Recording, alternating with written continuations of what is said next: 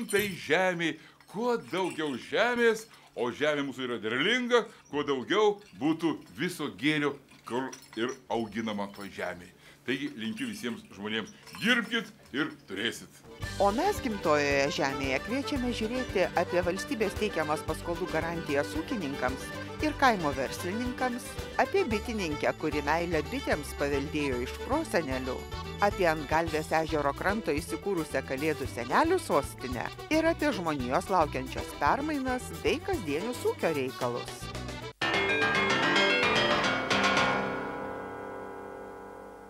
Investicinius ūkio modernizavimo projektus įgyvendinantys Lietuvos žemdirbiai į šalies kredito įstaigas gali kreiptis ir tuo met, kai negali pateikti pakankamo dydžio užstato savo skoliniams įsipareigojimams padengti. Tokiais atvejais jie turi galimybę naudotis valstybės teikiamomis paskolų garantijomis, kurias administruoja Žemės ūkio paskolų garantijų fondas. Ūkininkas eina į banką, derasi su banku dėl kreditavimo sąlygų, tada bankas arba kredito unija pas mus kreipiasi dėl garantijų. Ūkininkui tik tai po to, jau kai suteikiama garantija, reikia sumokėti garantinį užmokestį. Jeigu nėra ES remiamas projektas, jisai yra kompensuojamas. Per 15 metų nuo įsteigimo Žemės ūkio paskolų garantijų fondas suteikė garantijų už 2 milijardus 300 milijonų litų. Iš pradžių garantijos buvo teikiamos tik tai besiskolinantiems ūkininkams. Dabar fondo paslaugomis gali pasinaudoti žemės ūkio kooperatyvai bei bendrovės, o taip pat kaimo verslininkai ir kaimo bendruomenės. Be to, šiemet pradėtos teikti garantijos ne tik kredito įstaigoms, bet ir lizingo bendrovėms. Žemdirbiams teikiamos valstybės pagalbos apimtys plečiasi. Stengiamasi sudaryti ūkininkams kuo palankesnės skolinimosi sąlygas. Labai skatintina, kad ūkininkai draustųsi pasėlius, nes vis tik bankai, vertindami žemės ūkio riziką, šiuo metu jie skaito žemės ūkio sektorių mažiau rizikingą negu, negu kiti sektoriai, nes gauname europinė parama. Pasėlius apdraudusiems ūkininkams taikomos palankesnės paskolų garantijų suteikimo sąlygos. Jiems garantuojamas iki 80 procentų negražinto kredito sumos gražinimas vietoje įprastinių 70 procentų. Taip pat aukštesnis 80 procentų kreditų garantijos limitas taikomas jauniesiems ūkininkams.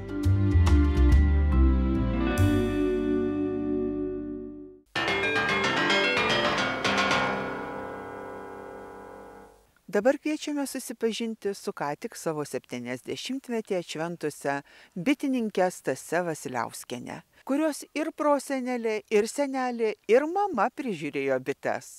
O ji savo pirmąją avilį įsigijo būdama 22. Jau kai čia va atsikėlėm, tai čia nu tuo laiką, nu 67 metų ir mes jau visą laiką turim bičių. Turėdavau du avilius, keturis, o dabar turiu 16. Jūsų šeimoje mama buvo pagrindinė bitininkė ar tėvelis? Nu, jie kažkaip pabudu, daugiau mama mėgdavo. Mama mėgdavo. Mumis vaikus vesdavo, va. O aš kaip jau ir vyrą neturėjau, jau amžinatys mano vyras, abu daidavom. O kaip dabar duomą turiu, tai man daug lengviau jau. Mes ir tuos skorius virinam, pasidarom tuo vašką, paskui vežam į, į tauragę, mainyti. Į ką mainyti? Į, nu, į tuos plokšteles. Paskui tas plokšteles reikia įvėlinti, reikia vėlikės įtampyti, viską. Nu, pernai aš gavau penkis avelius iš Europos Sąjungos, va šitas naujas, šitas va naujas, o šitas naujas ir šitas naujas. Tai ar geri jie? Ar rusiški geresni? Ne, man šitie labai geri. Kol neturėjau tų, tai buvo, va čia pirkau tokių padirbtų, žinai. Nu, bet irgi geri. Nu, reikia prižiūrėti. Jeigu neprižiūrėsi, visi bus blogi. Ta. Tai jūs visą gyvenimą buvote, buvote bitininkė ar jūs kažkokį ir kitą? Ne, darbą? aš dirbau į darbą, aš buvau geležinkelietė. E, bet bičių vis tiek laikiau. Vis tiek laikiau bičių, bitės man e, taip kaip šeimos nariai. Mano vaikai, vad būdavo, jeigu aš įsinešu į virtuvę suku tą medų, tai vaikai, jeigu kokį bitį, jau buvo taip įpratinti, kad tą bitutį paėmė kokį nosinuką ir neša prie avilį kad ji nepasiklystų.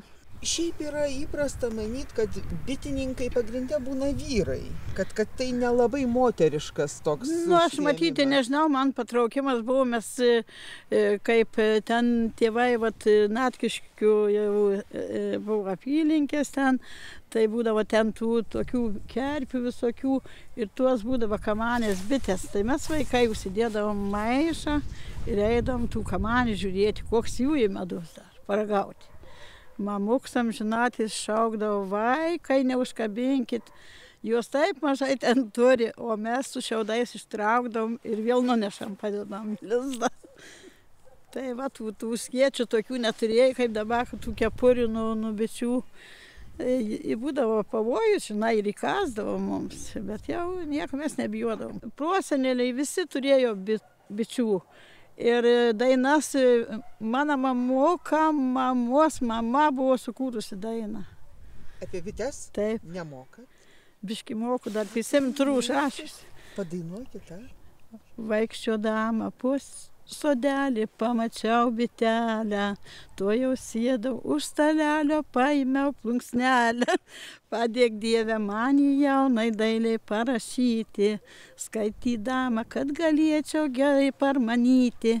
Kas tų bičių ir mandrumas kas medaus saldumas jog lašelį po korelį didelį man margumą Šeim bitininkė, nebūk skūpa duok ir susėdėliui, net bažnyčiui ant altoriaus deg vaško žvakelį, priim garbę Dievas viešpats iš mažos bitelis, nei kra- kraučystoj negali siūti siūlų nevaškavę.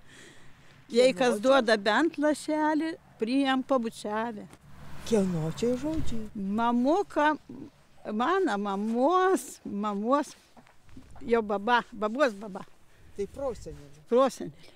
Jau ten, ta daina jau mes taip e, nutarėm, kai jinai apie 200 metų turi. Taip. tai ir ta prosenelė irgi buvo gal bitininkė Turėdavo bičių, bet žinai, kaip seniau. Seniau tų spytlių niekas negaudydavo. Jeigu kokį turėdavo, prisimenu, tokį, nu, šiaudinį avilį, tai ten ką įnešė, įnešti krūdinį simdavo. Ką išsijėmė kokį korį, atneždavo mums vaikams. Nu, supjausti, va ir laižom. O kad ten sukti taip medų, net nebuvo tokios. Na, paskui tėvai jau kažkaip nusipirko tokį, nu, sukti jau. Ir buvo. o jūs su kuo kaip sukat dabar medų Mes sukam, turim, turim. kokį medų turite A, turim ir rudeninį, ir, ir vasarinį. Ypatingai man patinka pavasarinis. Iš pienių. Jis turi savotišką tokį kvapą.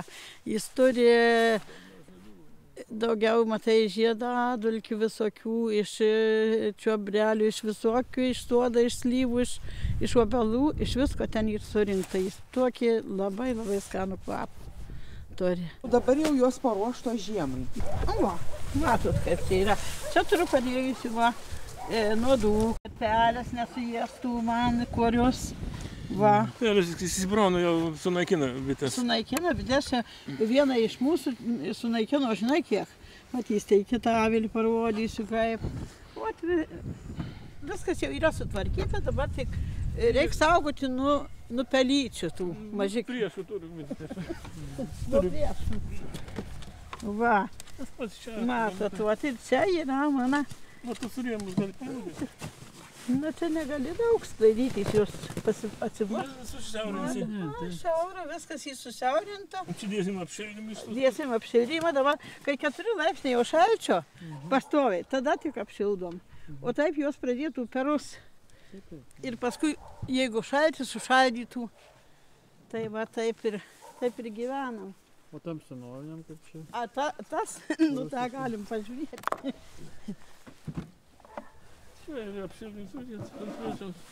Va, viską. Irgi pely, pelytės, kad man nesuėstų. Aš čia galiu parodyti. Va, matot, kiek čia vietos. Aš į vieną šoną sudarau, o paskui čia uždėsiu apšildymą, čia biškai prikrimšiu ir visą laiką orlaidų tokį padarau, kad, kad juos gautų, nu. Kvėpuoti, kad gautų orą ir kad e, ventiliuotų. Jeigu neventiliuos, supelies viskas ir nieko, tuos bitelės žūs. Va, viskas yra siaurai labai susiaurinta.